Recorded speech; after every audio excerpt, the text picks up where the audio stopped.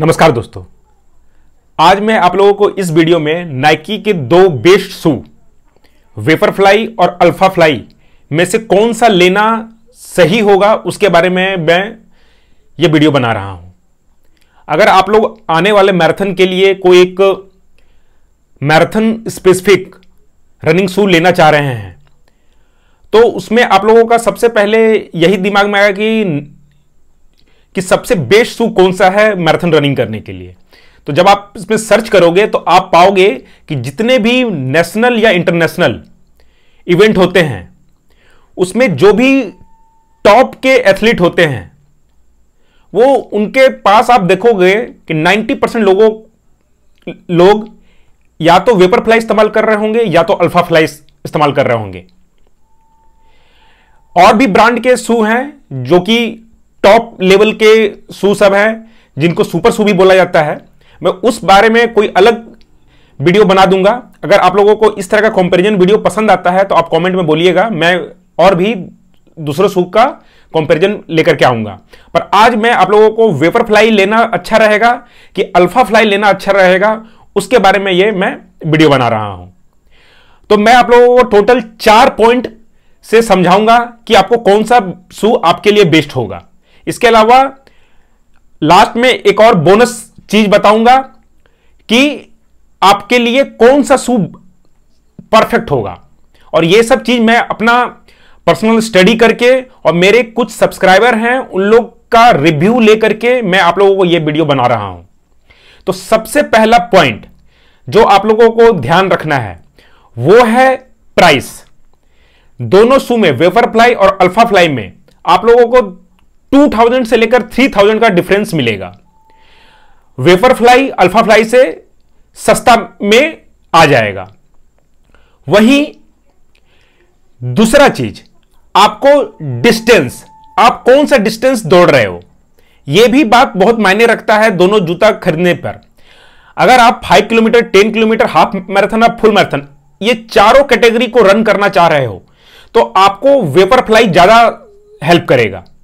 और वहीं आप हाफ़ मैराथन और फुल मैराथन अगर दौड़ना चाह रहे हो तो वहाँ पर आपको अल्फ़ा फ्लाई ज़्यादा अच्छा काम करेगा। इसके अलावा, तीसरा पॉइंट आपको वेट दोनों जूतों में आपको सेम टेक्नोलॉजी देखने के लिए मिलेगा। सेम फॉर्म दोनों में इस्तेमाल किया गया है सेम कार्बन प्लेट दोनों में इस्तेमाल किया गया है, पर अल्फ़ा फ्लाई में एयरपोर्ट इस्तेमाल किया गया है, जो कि वेपर फ्लाई में नहीं है, जिसके कारण अल्फ़ा फ्लाई का वज़न थोड़ा सा वेपर फ्लाई से ज़्यादा है। चौथा पॉइंट, फॉर्म। यह पॉइंट सबसे इंपॉर्टेंट है, और इसको नोट डाउन आप कर लो यह आपको बहुत हेल्प करेगा। मेरे एक सब्सक्राइबर ने यही गलती किया था, जिसके कारण उसे आज का डेट में मैं थोड़ा पछतावा हो रहा है। अगर आपका दौड़ने का फॉर्म अच्छा नहीं है। अच्छा इन द सेंस अगर आपका फ्रंट फुट लैंडिंग नहीं है तो आप अल्फ़ा फ्लाई नहीं खरीदिएगा। अगर आपका फ्रंट फुट लैंडिंग होता है, आगे से आपका पैर गिरता है पंजाब पे, तभी आपका अल्फ़ा फ्लाई ठीक से काम करेगा, क्योंकि उसका जो एयरपोर्ट है, वो जिस पर्पस के लिए लगाया गया है, वो अगर आपका पैर आगे नहीं गिरता है तो वो काम ही नहीं करेगा, वो जूता फिर आपका कोई काम का बचेगा नहीं। वो फिर नॉर्मल शू के जैसा रिएक्ट करेगा। जिस पर्पस के लिए, जिस जिस चीज़ को ध्यान रखकर उसको डिज़ाइन किया गया है, उसके लिए आपका फ्रंट फुट लैंडिंग होना चाहिए। वहीं वेफर फ्लाई में ऐसा कुछ नहीं है, ये काफ़ी सिंपल सोफिस्टिकेटेड शू है। इसे कोई भी आदमी इस्तेमाल कर सकते हैं। इसमें कोई भी तरह का ज़्यादा दिमाग नहीं लगाया गया है। बहुत ही सिंपल। आप जितने भी भी एथलीट को देखोगे, लोकल इवेंट भी आप देख लीजिए। आप, मेरे इस वीडियो को इंड होने के बाद में आप कोई भी बड़ा मैराथन उठा लीजिए, वहाँ पर देखिएगा, वहाँ पर जो आगे के लाइनअप में जो लगे रहते हैं, उनके पास यही शू मिलेगा। इसके अलावा लोकल इवेंट में भी जो लड़के अपने अपने इवेंट में अच्छा टाइम निकालते हैं वो लोग भी वेपर फ्लाई ज़्यादातर प्रीफर करते हैं। अल्फ़ा फ्लाई के लिए आपको अपना फॉर्म पे काम करना होगा। अगर आ, आपका फॉर्म अच्छा नहीं है अच्छा इन द सेंस आप अगर आपका पैर आगे से नहीं गिरता है फ्रंट फुट लैंडिंग नहीं होता है तो आपको फ़ायदा नहीं करेगा। इसके अलावा अगर आप का इवेंट एक महीने या दो महीने के बाद है तो मैं बोलूँगा कि आप वेपर फ्लाई खरीदो। अल्फ़ा फ्लाई नहीं खरीदना है। मेरे जो सब्सक्राइबर ने जो गलती किया वही मैं बता रहा हूँ वो उसके पास हाथ में सिर्फ़ 20-25 दिन का समय था उस उसने अल्फ़ा फ्लाई खरीद लिया था। अल्फ़ा फ्लाई में आपको अपना फॉर्म पे काम करना होगा जो कि आप 10, 15, 20 दिन में नहीं कर पाओगे। कम से कम आपको तीन चार महीना लगेगा फॉर्म पे काम करने में। तो आप जब फॉर्म आपका अच्छा हो जाएगा तो आप उसका रिज़ल्ट सही से निकाल पाओगे। वहीं वेपर फ्लाई में ऐसा कुछ नहीं है। नॉर्मल जो नए लड़के भी हैं, वो भी उसको पहन करके दौड़ेंगे तो वो अपना काम करेगा और आपका स्पीड को इनहेंस कर देगा। इसके अलावा लास्ट पॉइंट जो कि बोनस पॉइंट जो मैं बोला था, आपका अगर वेट ये इस बात को ध्यान से सुनिएगा, अगर आपका वेट ज़्यादा है तो मैं बोलूँगा ये दोनों शू को नहीं खरीदे। मेरे एक सब्सक्राइबर ने यह भी गलती की थी। उनका वेट ज़्यादा था और उन्होंने वेफर फ्लाई खरीद लिया था। इससे नुकसान क्या है? इससे नुकसान बस यह है कि इसमें जो फॉर्म इस्तेमाल किया गया है, वो बहुत ही सॉफ्ट बहुत ही रिस्पॉन्सिव है।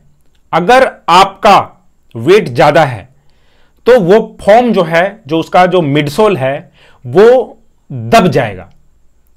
और वो दब जाएगा तो आपका सू जिस चीज़ के लिए वो बना है, वो उस तरह का रिज़ल्ट नहीं दे पाएगा। क्योंकि कोई भी सू सिर्फ़ कार्बन प्लेटेड है या अपने ब्रांड का टॉप का लाइन का है, वैसे वो काम नहीं करता है। उसको काम करने के लिए उसका हर एक चीज़ हेल्प करता है। उसका अपर, उसका लोअर, उसका मिड सेक्शन, हर एक चीज़ अगर सही बैलेंस्ड वे में है, तभी काम करेगा। पर अगर वेट आपका ज़्यादा है तो जब आप उस पर दौड़ोगे तो आपका वो फॉर्म ज़्यादा दिन तक टिकेगा नहीं।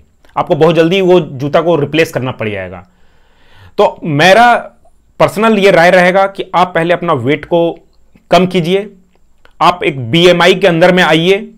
बीएमआई क्या होता है, उस पर मैं एक अलग वीडियो बना दूँगा। पर आप, आपको क्या करना है, अपना वेट कम करना है। जब आपका वेट सही हो जाए, तब आपको इन दोनों में से एक सू लेना है। कौन सा सू लेना है? मैंने आपको हर एक चीज़ बता दिया। सबसे पहले आपको यह ध्यान रखना है कि प्राइस आप ये देख लो कि दोनों में से आपका पॉकेट किसको सही बोलता है, वो ले लीजिए। दूसरा डिस्टेंस अगर आप छोटा डिस्टेंस से लेकर के फुल मैराथन तक दौड़ना चाह रहे हैं, पाँच किलोमीटर से लेकर के forty two kilometre full marathon तो आप वेपर फ्लाई खरीद दीजिए।